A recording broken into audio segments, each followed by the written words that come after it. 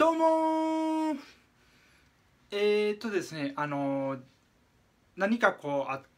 何かことがあってそれで自分一人でねこう解決できないことがこう起きた時にね、えー、どうすればいいいいかということについてちょっとシェアしたいと思います。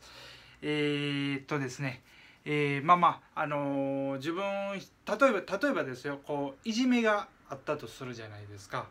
そのまあまあ、あのー、高校生やとしてこういじめがあったとして。で自分は、えー、いじめられてなくてですね。でいじめられてる人がいると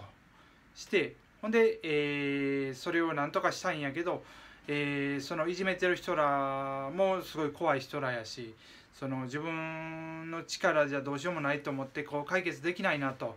えー、思った時は、えー、周りを巻き込む。周りを巻き込んでいくっていうことが、えー、大切なんじゃないかなと。決して自分一人でねこう解決しようとするではなくてですね、えー、周りを巻き込むということですね。周りを巻き込むというのは例えばですねその、まあ、いじめてる側があっていじめられてる人がいてほんでそれを見てる周りの人でなんかこう様子を見てあ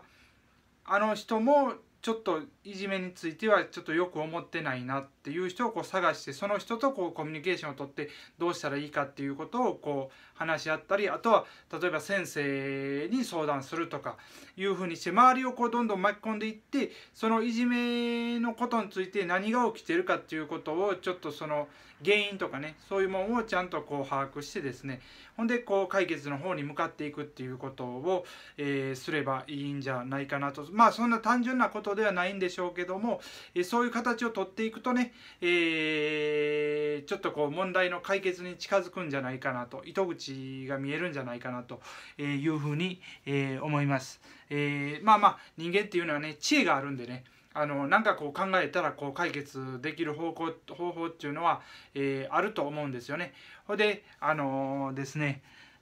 まあまああの何、ー、て言うんですか？え、いじめがこういじめを見て見ぬふり傍観者になるんではなくてですねであの、まあ自分ごとのように考えてですね、え、対処していくという、え自分はねそれを見てね自分一人やったらこう無力やしって言ってそれを言い訳にして何もしないんではなくてですね、えー、その周りを巻き込んでいくもう自分一人ではどうしようもないけど解決したいことがあればそれは周りに相談したりとか周りを巻き込んでいったりとか今いじめを例に言いましたけど、えー、社会でもいろいろあると思うんですよね。でそれを何とかしたいなって思ってて自分ではどうしようもできない場合はそれを相談するとかなんかこう周りを巻き込んだりこうしていくことによってそれからこういろいろ考えてね、えー、知恵を出してねで解決していくっていうふうに、えー、持っていけば、えー、いいんじゃないかなというふうに、えー、思いましたんでちょっとシェアさせていただきました。ここまで動画を見ていただきありがとうございます。